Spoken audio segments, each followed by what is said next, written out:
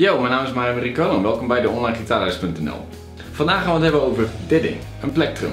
Maar daar heb ik deze gitaar natuurlijk helemaal niet voor nodig, dus uh, ah, een stuk beter.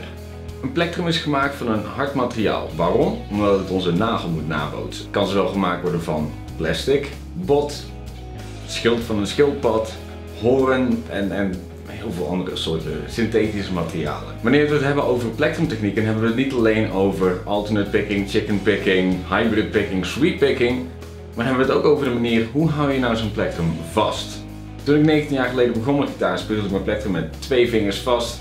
Had ik mijn middelvinger, ringvinger, pink uitgestrekt en had ik dus absoluut geen stabiliteit. En wist ik dus niet waar ik precies was op al mijn snaren. Daarna op de popacademie leerden ze mij dat ik mijn plektrum met twee vingers vast moet houden. Op dezelfde manier als Paul Gilbert en Joe Satriani bijvoorbeeld. Stukken beter.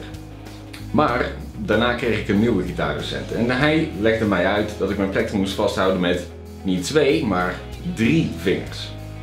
En nu is de grote vraag natuurlijk, waarom houden wij ons plektrum vast met drie vingers in plaats van twee? Stabiliteit, totale controle, dat is het antwoord. Waarom? Pak maar eens iets vast. Pak een glas vast of een afstandsbediening. Je pakt altijd alles vast met zoveel mogelijk vingers. Waarom? Zodat je de dingen laat vallen.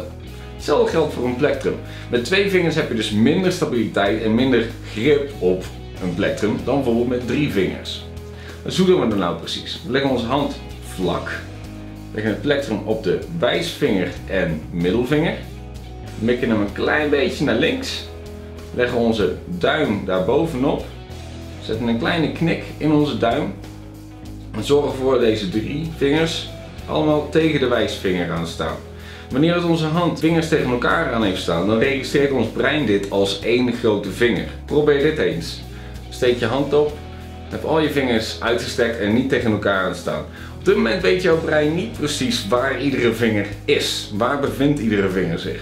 Maar als ik nu onze vingers tegen elkaar aan zetten, weet ons hoofd precies waar alles zit, want we hebben contactpunten met elkaar. Hetzelfde geldt dus voor wanneer je een plektrum vasthoudt. Wanneer we ons plektrum op deze manier vasthouden, dus met drie vingers en alle vingers tegen elkaar aan, heeft ons brein minder moeite met weten waar we precies zitten. Dus we hebben nu houvast en wanneer we nu de snaar willen aanslaan, weten we precies waar dat we zitten. Een, een klein tipje van de sluier, en dit is een uh, video die in de toekomst gemaakt gaat worden.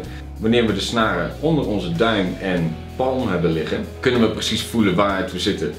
Maar daar hebben we het een andere keer wel over. Dus probeer dit eens. Probeer je plektrum voortaan vast te houden met drie vingers en oefen totale controle uit op je plektrum. Over de aanslaghoek en hoeveelheid druk die je uitoefent op je plektrum, wat dus weer te maken heeft met dynamiek en hoe hard je nou eens precies een snaar aan doet slaan. Heel veel plezier met het oefenen van een nieuwe manier om je plektrum vast te houden. Mijn naam is Mario Mericolo, dit was de onlinegitaarles.nl. Ben je geïnteresseerd in meer Engelstalige content van mij, dan kun je kijken op Fred Vibes. En ben je geïnteresseerd in online gitaarles via Skype, dan kun je altijd een mailtje sturen naar deonlinegitaarles.gmail.com.